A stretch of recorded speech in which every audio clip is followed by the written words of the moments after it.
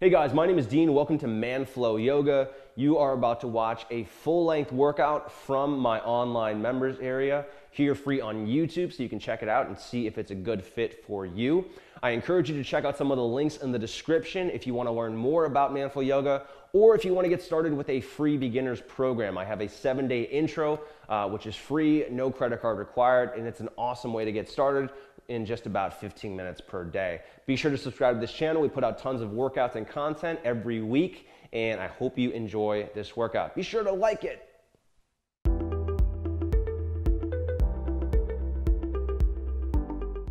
Hey guys, it's Dean. Welcome to Man Flow Yoga. The workout we're going through today is going to be a beginner friendly, so no flexibility required, workout focused on your hip mobility and your shoulder mobility. We're going to be using two blocks and a strap today. Those are just the best tools that we can use, especially if you're inflexible.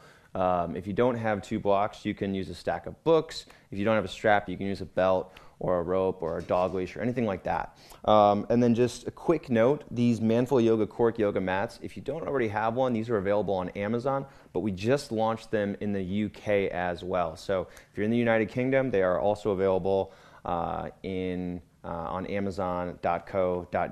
So check that out.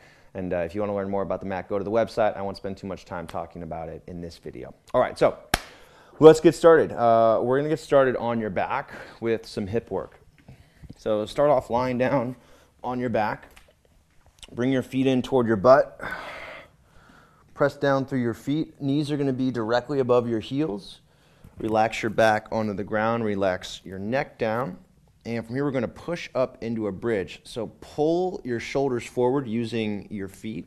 So just pull a little bit, feel the backs of your thighs engaged. And then using your hip strength, press down through your feet, squeeze your butt, and lift your hips away from the ground. It's actually more like pushing your hips away from the ground. If you think about lifting your hips, then that tends to, you might incorporate your lower back a little bit more. So think about pushing your hips off the ground using your feet. And if you notice that your knees are flaring out, I want you to make sure that your knees are staying toward one another so your, your thighs are parallel to one another. And again, we're putting the weight here in your glutes. Arms are relaxed along your sides, and head and neck are down. So, as you're doing this, you're going to feel your hips are working, the backs of your thighs, backs of your hips are working, your glutes, your hamstrings are working. You're going to feel your thighs working here abs should be working. You should feel a little bit tightness through your core. And your lower back, your erector spinae, those muscles on either side of your spine, those should also be engaged. But you just want those, you just don't want to feel those muscles working in overdrive. It should be a nice spread through your hips, your core, and your back. We're to do two more breaths here. Drive up a little bit higher if you can.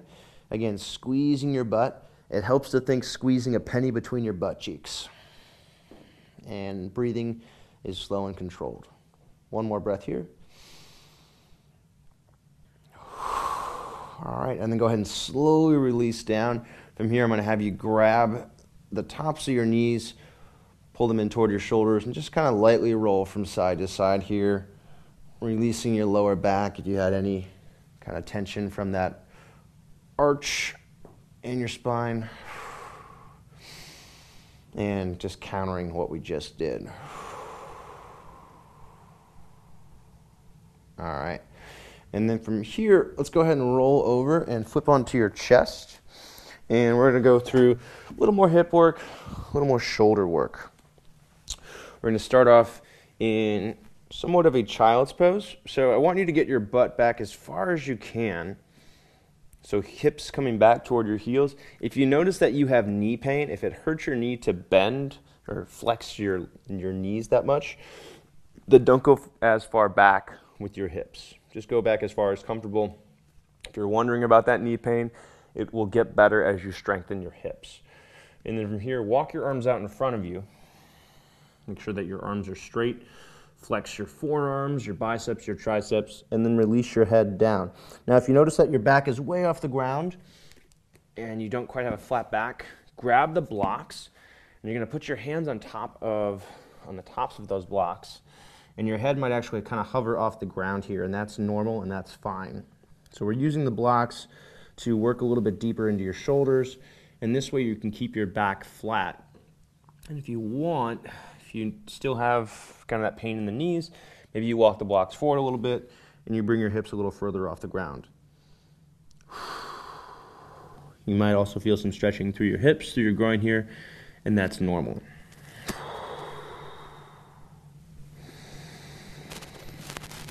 A couple more breaths. And the goal is getting your hips back toward your heels as long as that doesn't hurt.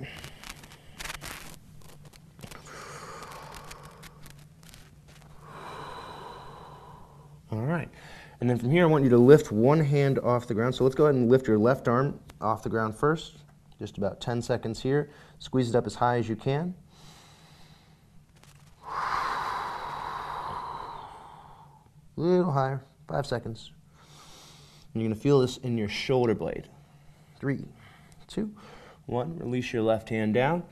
Keep your head relaxed. Lift your right arm off the block as high as you can.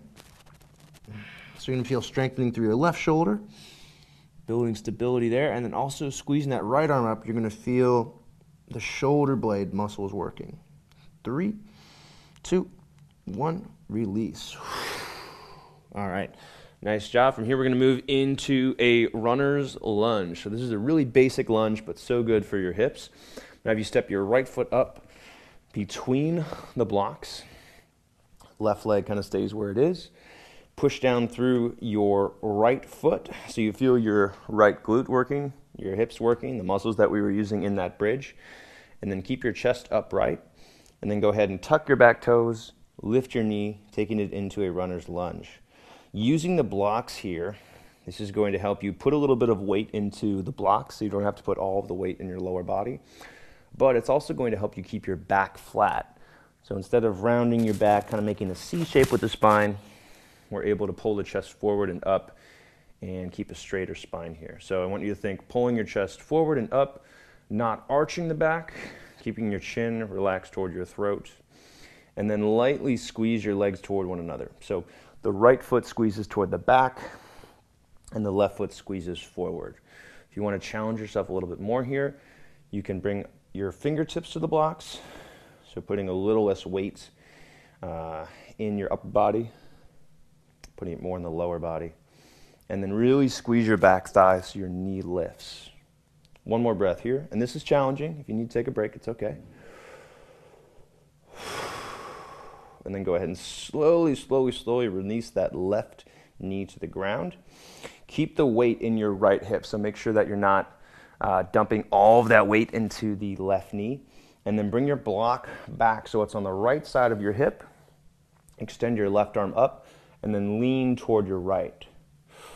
So we're kind of getting a banana shape with your upper body here, lifting your chest upward Still continuing to squeeze both hips here so the legs squeeze toward one another. I'm really driving down through my right foot here and I'm actually squeezing my left glute too. So all those muscles we were working in that bridge at the beginning, you should feel those muscles working in this low lunge with a side stretch. Really press your fingertips up and over and also squeeze your arms back. So you want to feel those muscles we were working in that child's pose with your arms lifted off the ground as you squeeze the arms back. One more breath here. All right, go ahead and release. Bring your blocks back to where they were before and go ahead and switch sides. So left foot is going to step up, right leg stays where it is. Knee is over the ankle and the front foot. Push down really hard through your left foot so you should feel your left glute, your thigh, your hip engage as you push down through that foot. Tuck your back toes and then squeeze your back thigh, lift the knee, pull your chest forward and up. And as you do this, you're going to feel a stretch through the front of your right hip. So your hip flexors are going to be stretching. You might also feel some stretching through the left inner thigh if you're tight. And then we want to feel the muscles in the hips and your glutes and your quadriceps are also engaging here. So strengthening and stretching. Squeeze your legs toward one another. My back foot squeezes forward, my front foot squeezes back. And again, the chest lifts forward and up. You can put as much weight as you'd like in the blocks. You want to make it more challenging, Bring your fingertips up so that your fingertips are on the blocks, less weight in your upper body, more in your lower body. And if this is too easy for you, you can bring your feet further apart, and that's going to help you get a deeper stretch. It's also going to challenge your strength and endurance a little bit more. Take one more breath here. Make sure you're squeezing both hips. And then slowly release that left knee down. Keep the weight in the hips. Don't dump all your weight into your right knee. If you do have sensitivity in the in the knee there, you can put a cushion or you can put um, a pillow or even a knee pad under your right knee. And then go ahead and move the left or move the block back so it's outside your left hip. Lightly rest your hand on that block. Bring your right arm up, reach up and over to the left. And you're welcome to stack blocks here. If you'd prefer to use two blocks here, you're welcome to do that. That's an option. Use the uh, use the props that you have to make the pose work for you. Don't necessarily copy me exactly, exactly my depth. You want to do the pose in a way that gets you the benefit, the intended benefit, and not just mirror somebody else. So as I'm in this low lunge, I'm still pushing down through my front foot. My legs are squeezing toward one another. My right arm is pressing up and over to the left.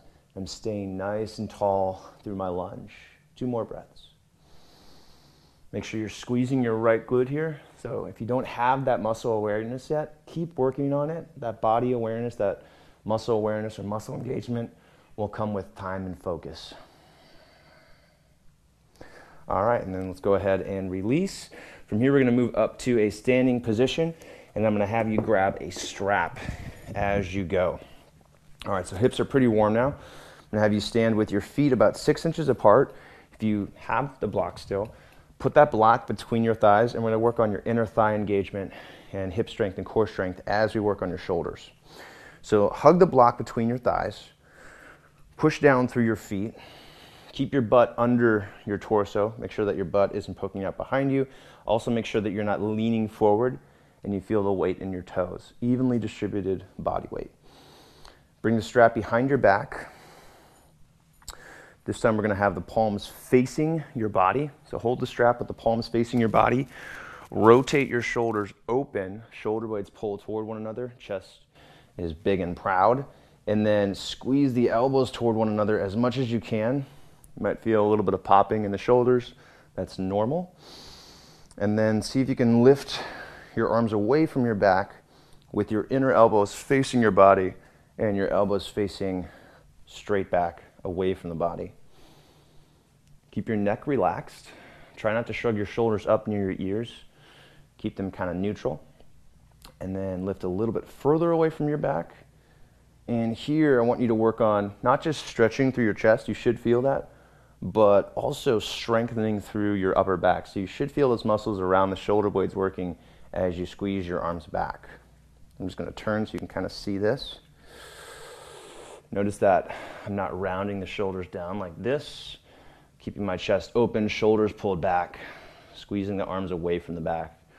We're to do two more breaths here and continue to keep your hips engaged, pushing down through your feet, pushing the top of the head up, squeezing the arms further back. One more breath here.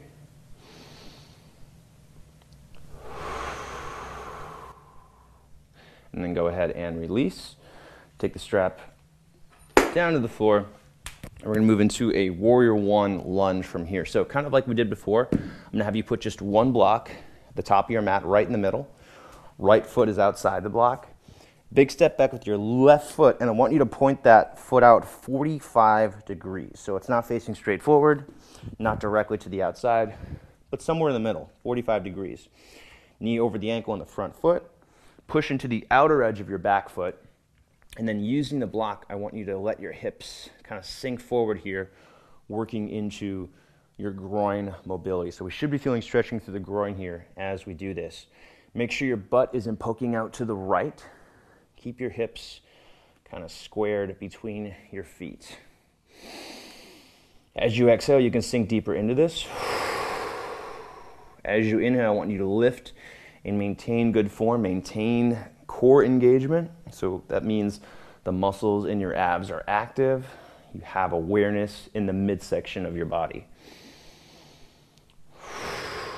All right, now that you've kind of adjusted to this, try squeezing your legs toward one another. So your right leg squeezes back, your front foot squeezes forward, and using that block as little or as much as you'd like to support your body weight.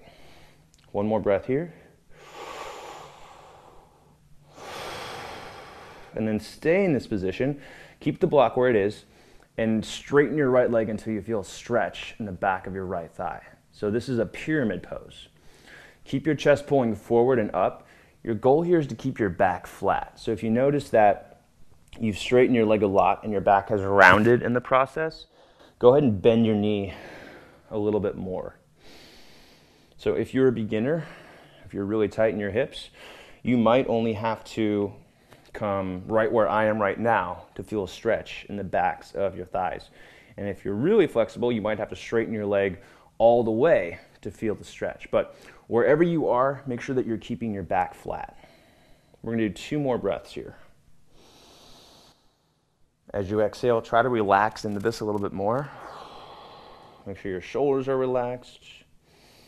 Make sure your head is relaxed. Even your expression on your face is relaxed.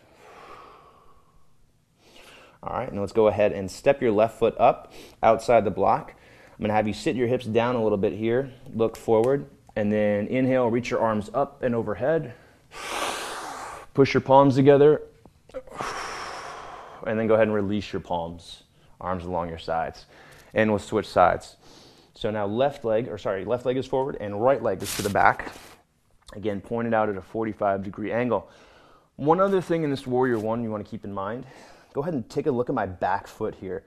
This is what happens when the pose is incorrect. The foot caves in. So you want to make sure that you're pushing into the outer edge of the back foot and the arch of the foot is lifted. And you can see a bit of a shadow between the arch of the foot and the ground. That's also going to help you get more ankle mobility and that really releases a lot of tension on the knees, your feet, and your ankles. Knee is over the ankle in the front foot still. I'm using that block as much as I want. And then squeeze your legs toward one another as you sink into this.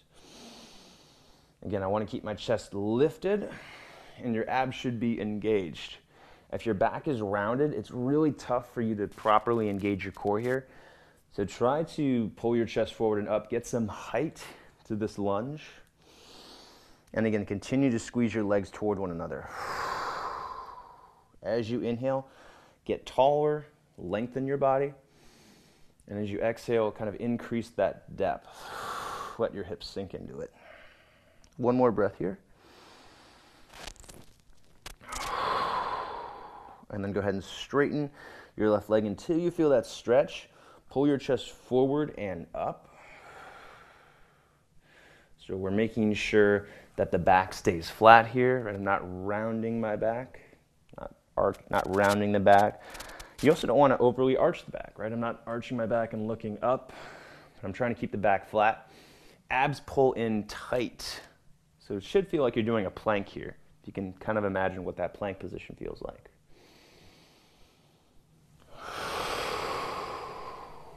And as you exhale, working a little bit deeper into that stretch.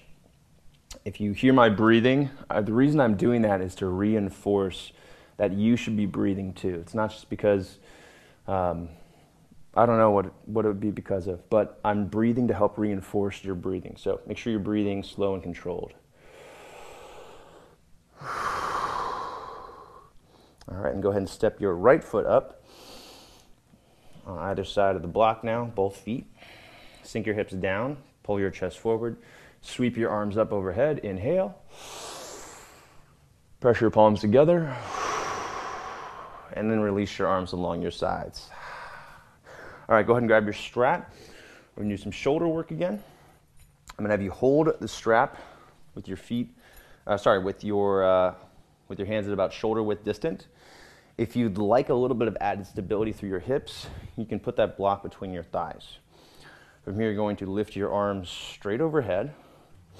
And instead of just lifting your arms up, I want you to actually squeeze your arms back.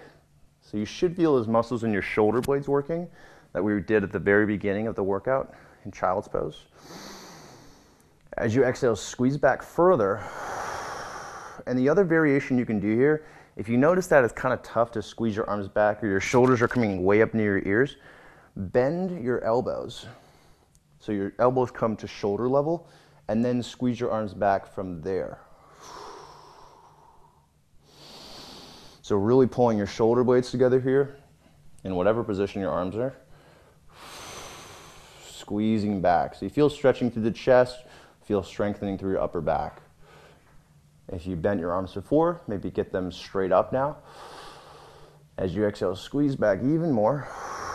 Try not to arch your back too much or puff out your chest. That's going to uh, compensate for shoulder mobility. We want to work on the shoulder mobility directly and not arch the back. One more breath here. Squeeze back. All right, and then go ahead and release. Okay, we're gonna go into a warrior two from here. So one more lunge position. Right leg is forward, left leg is back, pointed out about 85 degrees, so not quite 90 degrees, not quite facing directly to the outside, but turn it in just a little bit. Hips and shoulders square to the outside. Right knee over the ankle in your front foot. And if you want, you're welcome to use a block here initially to kind of get set. Push your back hip into your front hip. Make sure that you're leading with your hips here.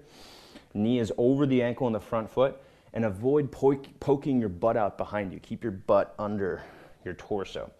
Now, from here, if you're ready for Warrior Two, extend your left arm forward, reach it up, reach it back, come into a full on Warrior Two.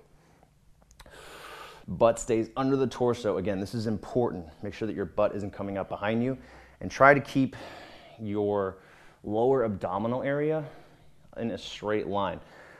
By that, I mean make sure that your pubic bone isn't facing down. Squeeze your butt. Keep your lower back flat. Shouldn't be any tension in the low back here. Arms are out in opposite directions, looking straight over your middle finger.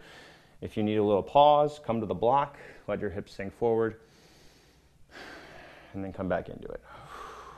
If you're tighter in your hips, you might be more in this position with your depth. Doesn't matter how far apart your legs are, as long as you're feeling that stretch through your groin, you're feeling strengthening for your hips, and maybe a little bit of opening through the chest as your arms open up. All right, go ahead and relax. And we're gonna pivot. Actually, let's just go ahead and switch sides. So step your left foot up, and then step your right leg back. We're gonna do this opposite side. Point your toes out, again, about 85 degrees, not quite 90. Turn it in just a little bit. And just like we did with Warrior One, you want to make sure that you're pushing into the outer edge of the back foot, and there's a little bit of an arch between the, or a little bit of a shadow between the arch of your foot and the ground. Knee is over the ankle and the front foot, hips are under the shoulders. Using the block initially to get set. So I'm making sure that my hips are pressing forward toward, toward my front knee.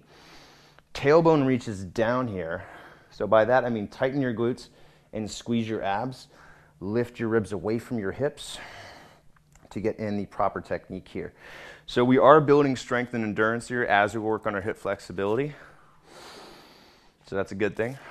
We're not just stretching, we are strengthening too. And then arms come out in opposite directions. Look over your left middle finger. If you need a little break, bring your hands to the block and come right back when you're ready. Two more breaths here. Squeeze your legs in toward the middle. So that's something that we always want to do in yoga is squeezing the legs in toward the middle. One more breath.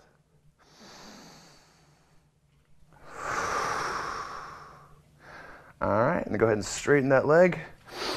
We're gonna step back up, back into a standing position, drop the hips, pull the chest forward, lift your arms overhead, palms pressed together, and release your hands down. Okay, here we're gonna move into our final couple of stretches. We're gonna go into a thread the, thread the needle stretch, and then we're going to move into a pigeon. So take it back down into a child's pose. Knees wide, big toes touch. You should notice that this is a little bit easier than we started. Walk your arms out in front of you. Relax your head down. And then you're going to slide your right hand through your left knee and your left hand, coming to the outside of your right shoulder, pressing the back of your right arm into the ground, and lightly pulling back toward the right. So as you do this, you should feel stretching through your right shoulder blade. Deep breaths.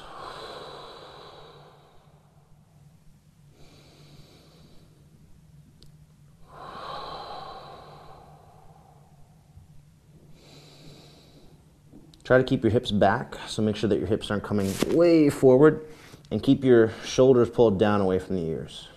Last breath. All right, go ahead and release. We're going to switch sides. Slide your left hand through your right hand and your right knee. Relax onto the outside of your left shoulder. Press the back of your left arm into the ground and then lightly pull it back toward the left.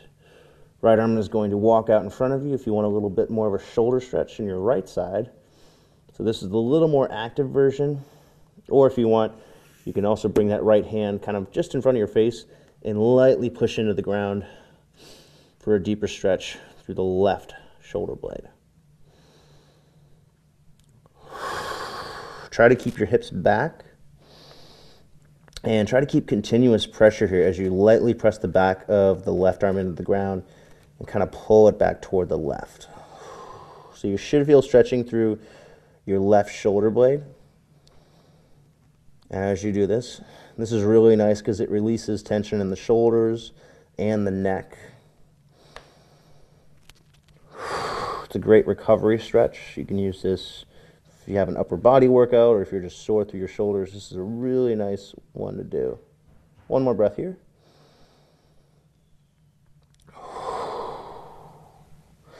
Go ahead and release.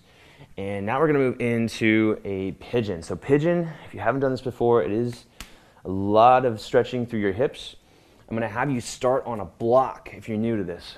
So, you will sit on this block with your right hip. So, I'm sitting on the block with my right hip. My knee is coming to the outside, and my inner right thigh is facing up. Depending on your tightness in your groin, or sorry, in your hips, your right heel is going to come closer to the block or it can be as far away as parallel uh, to the top of the to the top of the mat. And then from there, I want you to do your best to get your left leg back. So get it parallel to the side of the mat. Hug it over toward the right. Inner right thigh is still facing up here, sitting on that block for a little bit of support. That's going to allow your hips to relax. And then maybe bringing your hands out in front of you and kind of relaxing here. Now, initially, what's going to happen is you're going to avoid putting your weight into your hips. So you can start by kind of putting the weight into the upper body, but I want you to start putting more of your body weight into your hips, and that's going to help open up your hips a lot more. So if you're just getting used to this and it feels really tight in the hips and you're feeling some opening, good. If you're noticing that your body is adjusting, I want you to start kind of putting the weight into your hips so you can work on your hip flexibility a little bit more. As you're doing this, you're going to feel stretching through the outer right thigh and your glute. To make this a little more intense, you can take the block away entirely. Just make sure that you're not leaning over toward the right. You do want to have, you kind of want to have your body weight balanced as much as possible here. Uh, and it's not going to be perfect at first, but as you do it, your body will open up. One more breath.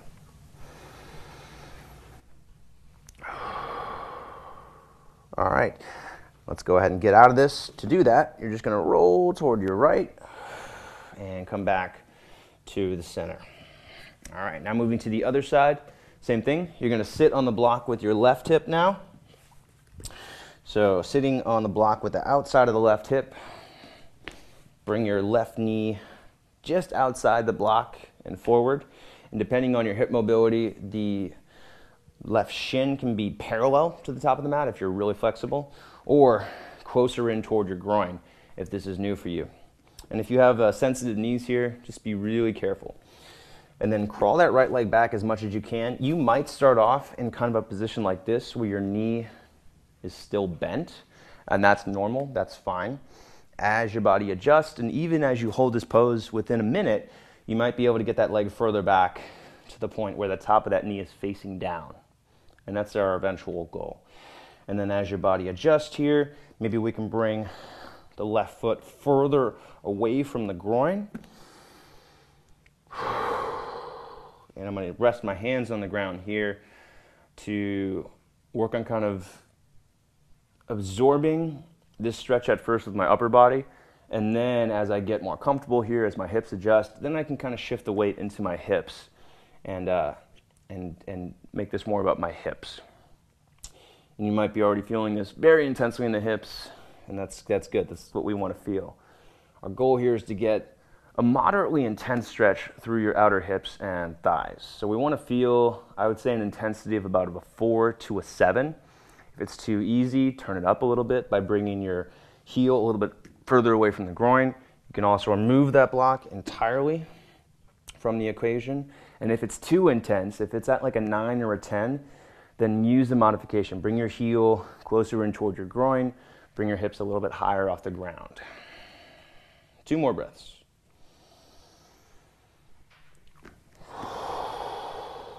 And as you exhale, relaxing into it, not fighting it, allowing your body to work into it. But being cautious. Don't just work your way as deep as you can and then hope it'll be okay. Be cautious, gently work your way into it. And then go ahead and roll to your left. Bring your legs back to the middle. You can finish in a cross leg position. You can go onto your back, whatever you want to do. And that is the end of our workout. So, that was a beginner friendly uh, workout focused on hip mobility. We also got in some shoulder flexibility. So hopefully your shoulders are feeling a little bit looser as well. And uh, we did a lot of strength work. So um, flexibility is more than just passive stretching. Um, when you can start to incorporate strength into flexibility, that's when we really start to see uh, the benefits of um, noticeable benefits. So flexibility is good, but we want to add in strength to that, and that's what we did with this workout. So I hope you enjoyed that. Um, if you're watching this from the members area, thank you for being part of the Man Flow Yoga community. I encourage you to leave a comment to inspire, to help inspire someone else to do this workout. When people see that there's a community behind this, and it's not just you by yourself following along to a video online, uh, it really does add a lot of motivation. So I encourage you to leave a comment, um, give your feedback on the workout, talk about you know maybe a posture that you uh, tried and you thought it'd be too difficult, but then you could do it. So whatever you want to say about your experience with the workout, go ahead and leave a comment here. Um, and that's it. So guys, thanks for joining me for your workout today. Uh, if you have any questions, leave a comment here. I'll get back to it as soon as I can. And thanks again for being part of Man Flow Yoga.